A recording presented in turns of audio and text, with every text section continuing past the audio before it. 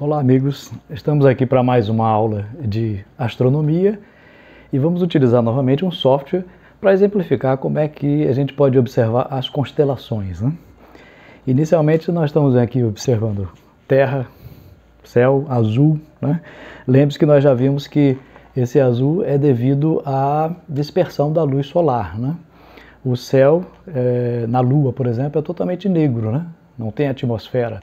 E devido à composição da nossa atmosfera, as cores que vêm do Sol, a maior parte atravessa, o vermelho atravessa, o verde atravessa, mas o azul não. E graças a Deus as outras também com mais energéticas, né, como é, o ultravioleta, por exemplo, e o raio-x ficam retidos na nossa atmosfera.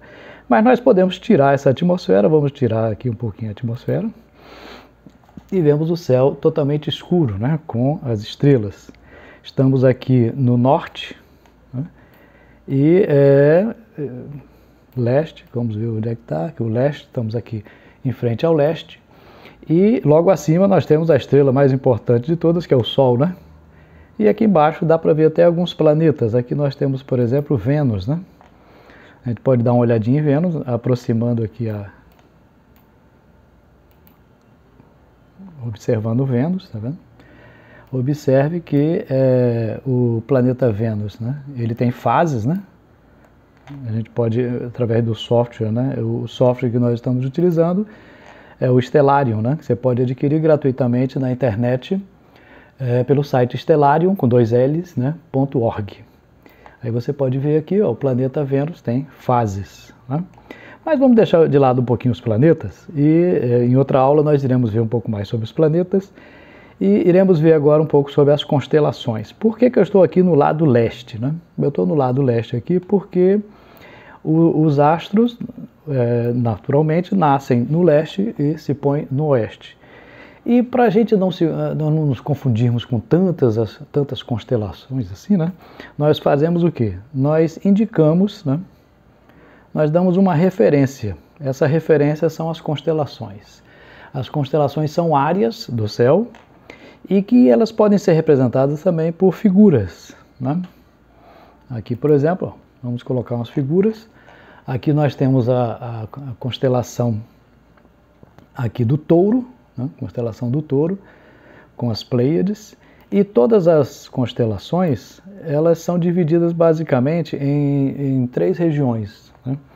Essa região central aqui, do leste para o oeste, que são as constelações zodiacais, né? São aquelas em, em que o Sol atravessa. O Sol atravessa essas constelações zodiacais. Na antiguidade, os astrólogos né, usavam essas é, constelações para fazer os signos. Né? Então você tem o signo de touro, o signo de escorpião, são constelações pelas quais o Sol atravessa, são 12 ao total. É claro que é, é, constelação é pura invenção, mas serve para ajudar a identificação dos astros. E nós podemos ver elas passando aqui. Por exemplo, eu posso acelerar né, o, o movimento. Vamos acelerar aqui um pouco o movimento para é, vermos um pouquinho mais rápido as constelações atravessando o céu. Vejamos aqui. Observe que elas já estão se movendo bem lentamente, né? agora mais rapidamente. Aí nós temos aqui várias constelações, como, é, por exemplo, nós temos aqui a constelação, ó, o touro e a constelação aqui de Orion, né, que é representado pelo caçador. Essas três estrelas aqui no centro são as três Marias, né? as três Marias. Então, vamos ampliar aqui um pouquinho onde nós temos essas três estrelas e cada estrela tem uma nomenclatura, né? É, essa aqui é Mintaka, Almintak e Alnilan. São as três estrelas da, das Três Marias. E é, numa constelação existem dois tipos de nomenclatura, né? Você tem a nomenclatura vulgar, que é essa que eu falei agora, por exemplo, e tem a, a nomenclatura oficial, né? Então, por exemplo, se a constelação aqui é de Orion, né? então a gente chama de Alfa de Orion, né? Que no caso aqui é Betelgeuse. Então, se eu clicar aqui em cima, aparece aqui ao lado o nome, né? Betelgeuse ou Betelgeuse, né? É a alfa do escorpião. Oh, desculpe, a alfa do, de Orion. E Rigel, aqui ó, Rigel em, em árabe quer dizer pé, porque já está exatamente no pé do caçador. Então gravar essas constelações não é simples, né? Mas é, faz parte de um estudo da astronomia, né? A uranografia, ela estuda uh, os diversos tipos de constelações que podem ser divididas basicamente em três áreas. Se a gente tivesse todo o céu, né? Aqui nós temos o Sol em cima. Se fôssemos colocar em todo o céu todas as constelações, nós teríamos um, um, um círculo como esse daqui e é, com as constelações visíveis. Mais ou menos são é, metade das constelações né, que nós conhecemos. A outra metade está do outro lado da Terra. Né? Então, se você olha numa noite, você observa as constelações, é, metade está ali visível, aproximadamente, e a outra metade no outro dia, no outro lado, que é o dia. Né? Então, é, são 88 constelações. A gente pode dividir essas constelações em é, tipos, né? Então, por exemplo, se eu colocar aqui a esfera celeste, os limites da esfera celeste, né? vou ampliar aqui um pouco, você pode ver aqui ó, o polo sul e o polo norte. As constelações que estão próximas ao, ao polo sul, né, nós chamamos de constelações austrais, né, aproximada aqui. Então, então, por exemplo, aqui é o polo, é, o polo sul celeste. Esse polo sul celeste é, tem constelações próximas a ele, então nós chamamos de constelações austrais. E do outro lado, no Polo Norte, aqui, ó, observe que aqui em Recife o Polo Norte está 8 graus abaixo do horizonte, né? Essas constelações aqui são constelações boreais. Então, boreal é o termo que se usa para o norte e austral para o sul, aqui nesse lado aqui.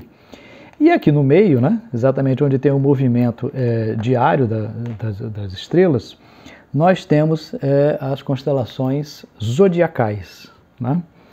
No meio, se a gente acelerar um pouco aqui a, o movimento, vamos acelerar aqui simulando o movimento de, é, das estrelas, né? então observe aqui que nós temos aqui, ó, isso aqui é o leste.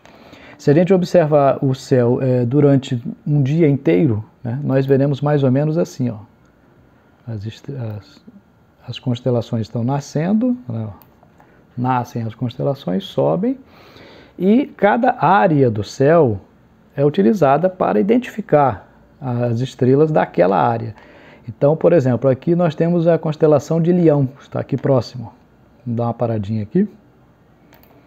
Então, aproximando aqui, constelação de, de Leão, é essa daqui. Só que a gente não enxerga assim, né? Não existe o desenho de um leão no espaço. Então, o que, que a gente faz? Deixa eu tirar aqui. Se a gente tirar, então, esse leão, Costuma-se então é, unir por linhas né, para identificar a constelação, mas nem no espaço tem linhas. O que a gente vê são assim. Aqui as principais estrelas. Régulus, por exemplo, é a principal estrela da, do Leão, né, da constelação de Leão. Então, é, a, a, configuração dessas estrelas, né, na cabeça do astrônomo, né, ele identifica primeiro as principais, traça ela com linhas essas linhas identificam o conjunto e é, consultando o mapa você pode ter é, o nome da constelação, aqui no caso Leão, Sextante, Leão, é, Leão Menor, e pode até ter também a representação é, gráfica, né? desenho que os antigos achavam. Aqui, por exemplo, Câncer, né? nós temos a constelação de Câncer com é, as estrelas principais é a constelação de Gêmeos, nós temos aqui ao lado, ó, Gêmeos. E identificar essa configuração não é fácil, por isso que é, tem pessoas que passam muito tempo né, é, fazendo uma pesquisa é, sobre como identificar as constelações de uma maneira é, mais prática. Né? Então você consulta mapas ou então softwares, vai treinando e observando no céu. É, infelizmente, nas cidades existe muita poluição luminosa. Né? Tem muita gente que pensa que o grande problema da astronomia na cidade é a poluição do ar, que também é forte, mas o principal é a poluição luminosa. quando a, a, a iluminação da, dos prédios, das casas, dos postes so, eh, sobe, ela atinge a atmosfera e dispersa, fa fazendo com que o fundo do céu não seja totalmente negro, seja claro, então apaga a maior parte das estrelas. Normalmente a nossa visão consegue é, observar estrelas até magnitude 6, por exemplo. Né? Mas isso num céu limpo, claro, é um céu escuro, né? no interior, sem iluminação lateral. Mas na cidade, essa magnitude, você pode observar só estrelas de magnitude 1, 2, né? Ou seja, estrelas mais brilhantes. A gente observa na cidade somente as estrelas mais brilhantes, enquanto que no céu a quantidade de estrelas é muito maior. Se você estiver num, céu limpo, é, você poderá identificar mais ou menos 6 mil estrelas com a vista, que a sua vista alcança né, num céu é, de interior. Né?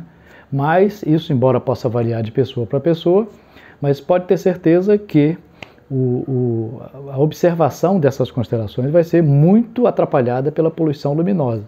Então, da próxima vez que você for a um lugar bem escuro, né, interior, fazenda, você vai identificar astros e vai identificar também essas constelações com muito mais facilidade. Né? Por quê? Porque você vai poder é, utilizar um mapa ou um software como esse, que é o Stellarium, e localizar as principais constelações, ok? Obrigado, então. Até a próxima.